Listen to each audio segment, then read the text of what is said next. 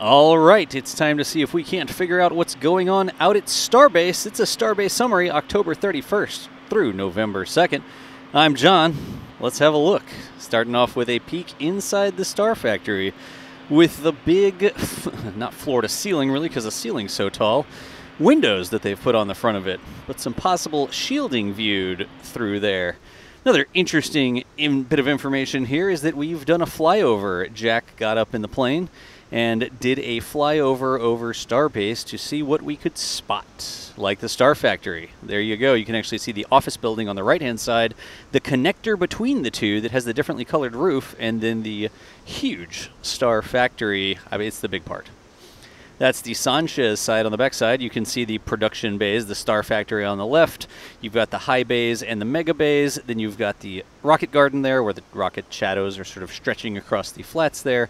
And then the assembly yard. Here's a little bit of a close-up on that where you can see, zoopity zoo information about that Pad B OLM construction. It's the square there in the middle of the screen that they are still putting together. This one's from a little bit higher up. Remember, we've got to be above 10,000 feet. That's where the TFR ends. But you can see the launch site there, two towers, and the beach over on the right-hand side. A little bit more zoomed in here. But that look at that huge tank farm. All the propellants required to launch these things. Here's some information or some closer ups on the orbital pad B construction. I've heard different names for this. Oh, is it Pad West? Is it Pad B? Is it Pad 2? I think we're just going to start calling them uh, names of the Lord of the Ring Two Towers. We'll just all settle on that. we'll go from there. You can see the excavations there on the left-hand side. That's the flame diverter. Looks like it might have two exits, one in either direction. Here's another angle on that. But they have been digging into the ground there. This is going to be super interesting exactly how this shapes up. But that big square looking OLM, that hole that they've been digging into the ground, and that takes us over to Massey's, the test site. You can actually see that oxbow abandoned sort of uh, loop moat around it, and the test area in the middle. Still taking apart that CC 8800-1, the huge monster crane. Of course, you have to be able to transport these cranes. They can't just clickety-clack down the road, so they have to be able to take them apart and almost containerize them or put them on flatbeds to move them around. Saw some chopstick testing as well, some basic swings around and up and down. Just making sure it stays in uh, shape. Then back over to Massey's again, we saw a Ship 33 cryo test. You can tell because the atmosphere has frozen to the outside of the stainless steel ship. I know I say it a lot. It's just like a frosty mug. Like if you have a stainless steel tumbler or something like that, and the outside gets humid, wet during a nice humid day, and you've got your cold beverage inside. Same exact thing happens out there on a much grander scale. I was going to say intergalactic scale, but we're not quite there yet. Just around the corner, that was Ship 31 in the high bay there. You can just see right in the middle, around the corner of the Star Factory. Here's a little bit of a zoom on it continuing to watch tile work. Not a lot going on right now in this specific shot from Jack, but you can see the scaffolding is still erected. And I know we talk about that uh, quite occasionally. I really do wonder when they're going to have proper work platforms in there. That's why it's funny, NASA, right? Oh, they're so slow. They don't do anything so quickly. Well, NASA has these platforms that just fold down and fold back up again. So you roll a rocket like SLS in, and then all the work platforms fold down, and then they fold back up out of the way, and you don't have to construct the scaffolding every single time. In terms of rapid cadence, I do really believe that at some point we'll see that there in the high bays. Uh, just things that are a little bit more fast. You don't have to worry about the scaffolding being constructed from scratch every single time. Are we grouting these tiles? Looks like we're putting some filler in between the tiles. Clearly not grout. It's, it's space grout. It's you would have to call it. You can't just go to Home Depot and get, not sponsored by Home Depot, by the way, uh, get any sort of regular grout. You have to get space grout. I actually am pretty sure. Look, I just made all that up, okay? I don't know anything about space grout.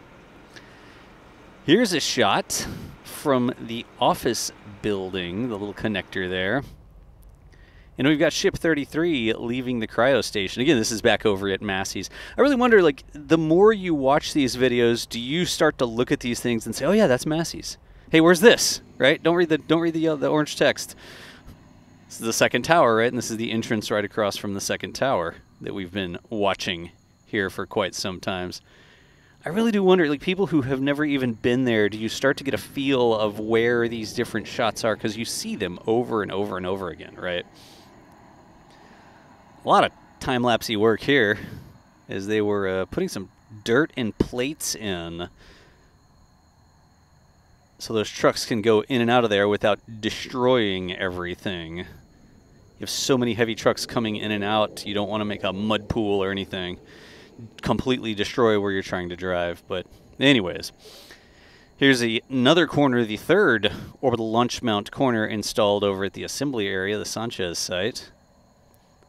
You know, I, I am curious, how do people actually watch these videos? Like, do you watch these in the morning? This is going to be a rollout. We should have some time to talk.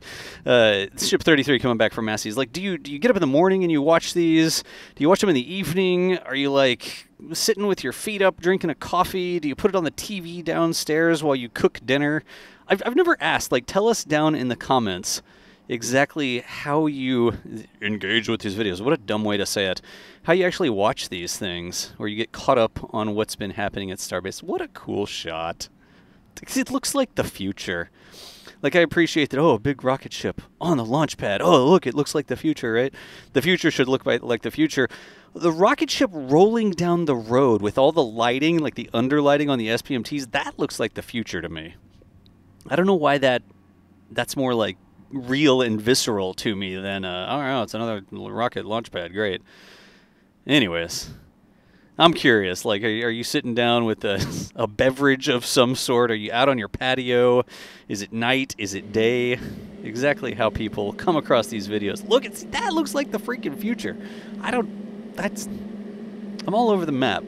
But this is how I watch the videos. I just sit out and watch the videos and talk about it. I don't make a script. Oh, and now you can see ship 30 whatever rolling back to the. Like, come on, that'd be boring. To me, that would be boring, honestly. Let's just scooch on back in there. We got more work to do on you. A Couple camera angle changes there. It's fine. It's always so tempting to change the angle, right? Oh, there's that uh, lifter. Was like the four-point lifter. I just, huh. I guess it is four points because there's the two bottom points and there's the two top points. There's like the main attached points up at the top. You can sort of see a little pin that connects to the ship, and there, there's another point at the bottom. Anyways, garage door is mostly closed here, but you can see ship 33 being lifted off of the simulator, the test stand that it was on, rolled back and forth to Massey's. Then it's probably going to end up, well, I, I don't know that I should guess this because you can't see it, but there in the background. Painted. Ah, it's still Salon Day over here for Starhopper. I think I'll use this as one of the thumbs because the Starhopper thumbs, like Starhopper looks like the not future but immediate past. I don't know. Some, like, explain to me exactly what Starhopper looks like, but uh, Starhopper continuing to get gussied up. I don't know if we should use that. Ah, y'all know what that means. I don't know. Dressed up. Look, you can actually see it. like how satisfying less satisfying that we didn't get to see the the end of the uh, painting process there. Bunch of containers rolling around. Those got some doors and stuff on the side. That almost looks like a container office, but is that is that going? No, that would have gone between the two. I don't think it went into one of the bays. Anyways, folks, as always, thank you so much for hanging out with us here as we get caught up on what happens at Starbase. We do these twice a week. Make sure you turn on the notifications if you want to catch up with me as I try to figure out what's going on. I'm John Galloway. Massive thanks to the crew out there, Jack and Mary and the SBL Ops, and uh, also Marcus House this week. Marcus House and uh, his friend Sean who are out there shooting, sending us a couple things that we could use in the video. But for now, we will catch you later, and we'll see you next time.